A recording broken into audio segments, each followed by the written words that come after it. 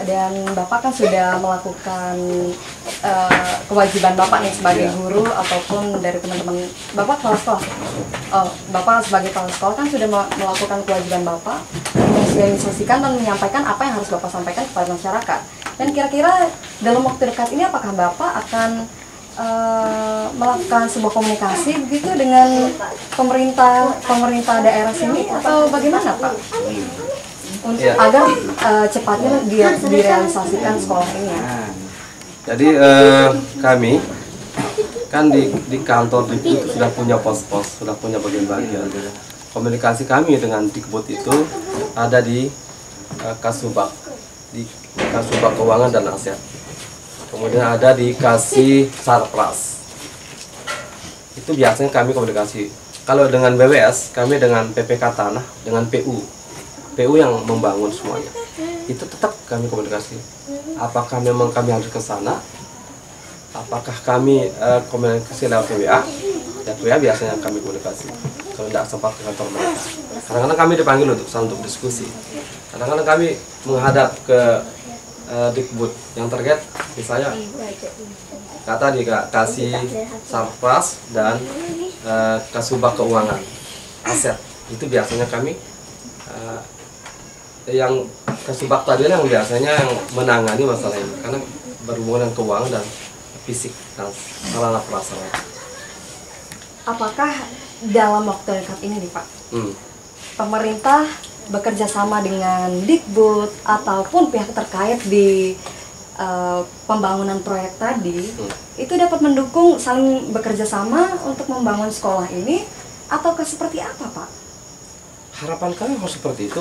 Seharusnya eh, salah satu kenapa sampai lahan belum ada, kenapa sampai gedung belum ada, karena karena komunikasi mereka belum jalan. Setelah kami coba masuk ke BWS itu gimana kerjanya, karena kami komunikasi dengan Dikbud gimana kerjanya, maka kami mencoba tetap berkomunikasikan WA kami kadang-kadang kami sampaikan ke WA BWS kami sampaikan kepada WA WA orang-orang di, Ka- di Kasubag itu. Itu komunikasi kami. Jadi istilahnya mereka nggak akan bisa ngeles. Karena WA itu saat screenshot saya kirimkan ini loh yang dari BWS ini yang dari Dibut ini. Jadi mereka nggak bisa mengelak lagi. Jadi harapan kami paling kalau eh, Januari kemarin itu lahan sudah dibayar sekarang sedang dimantapkan ini sedang dimantapkan tetapi kami tetap akan mengejar mengejar. Eh, masalah ini karena kami belum tidak puas hanya punya lahan. Tujuan jangka panjang kami adalah Terbangunnya eh, sekolah. terbangun sekolah dan memajukan pendidikan jelas. Anak-anak yang ada di dua lokasi ingat eh, kita punya dua dua sumber belajar yaitu dusun Murpadang itu dari kecamatan Gunung Sari dan dusun Batu Santek ini dan Murpeji itu dari kecamatan Linsar. Itu sumber murid kita dari tiga tiga dusun sama dua kecamatan. Itu yang harus kami, kami komunikasikan dengan uh, pihak-pihak terkait, maksud dengan warga yang harus mereka tahu keadaan kami seperti ini. Eh, dan saya dengar kan pemerintah sudah me- memberi bantuan ya. Bantuan seperti apa yang diberikan? Hmm, kalau bantuan secara secara langsung sih belum begitu banyak. Tetapi paling enggak kami sudah merasa senang kalau pejabat itu turun ke lokasi. Kadang mereka memberikan spontan saja. Begitu melihat anak-anak dengan eh, dengan seragam seperti ini, mereka ngasih ini untuk beli seragam, ini untuk anak-anak untuk beli buku bahkan Dharma Wanita kemarin pas di ulang tahun itu mereka banyak mengasih memberikan bantuan. Ada buku termasuk ada sembako termasuk ada amplop untuk guru-guru masing-masing ada uang. Anak-anak ada seragam ada peralatan mandi juga ada seperti itu Eh, berarti untuk siswa diberikan peralatan mandi, eh, Pelajaran. bantuan buku dan seragam begitu Pak ya.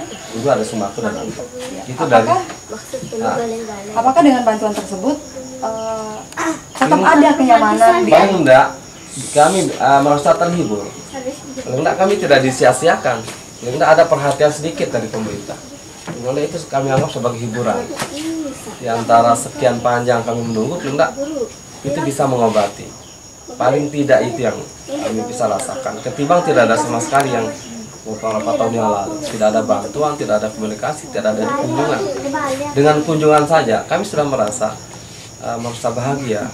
Mereka bisa merasakan bagaimana indahnya perjalanan ke sana. Mereka bisa merasakan gimana anak-anak kami harus belajar di tempat seperti ini misalnya. Mereka harus melihat gimana sekolah-sekolah kelas-kelas yang disekat-sekat-sekat. Dan mereka harus pejabat itu sebenarnya harus melihat dengan dengan keadaan seperti itu gimana pun caranya harus mempercepat pembangunan. Kalau tidak seperti itu, cepat terrealisasikan Pak ya. Semoga cepat terrealisasikan. Karena sampai sekarang ya seperti ini keadaannya. Sepertinya pemerintah tidak begitu cepat untuk menanggapi apa yang kami mau. Masih santai saja. Kami harus banyak bersabar. Dan harus mengejar bola, harus mengejar para pejabat. Untuk salah satu yang kami gunakan yang sering kami gunakan adalah dengan media. Termasuk ada di wartawan. Termasuk kalau ada program kampus mengajar kemarin. Ada program kampus mengajar di Gerindra mereka bilang membantu mengajar selama enam bulan. Saya bilang kepada mereka tolong informasikan kepada dunia luar bahwa ini sekolah SDN 3 Bukit Tinggi keadaannya seperti ini. Maka mereka menawarkan keadaan itu lewat WA, lewat Instagram, lewat Facebook. Mereka memberikan informasi yang sebenarnya. Tempat belajar, keadaan siswanya itu yang kami lakukan. Dan kami memang banyak berharap dari tamu-tamu yang datang itu termasuk ada dari komunitas. Banyak komunitas yang masuk ke sana. Memberikan bantuan.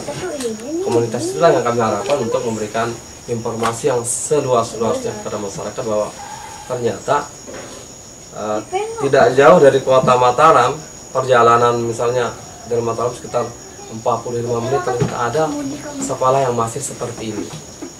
Dari dari dari pusat Lombok Barat ternyata masih ada orang belajar siswa belajar di tempat yang sepertinya kalau dikatakan memang nggak layak juga pak aku digigit dari tadi tapi berusaha bertahan kayak gini nih iya nah, itu makanya kami harus bertahan satu-satunya doa saya sebagai kepala sekolah adalah ya Allah berikan saya kesabaran agar saya bertahan sampai kapan saya akan bertahan di sini.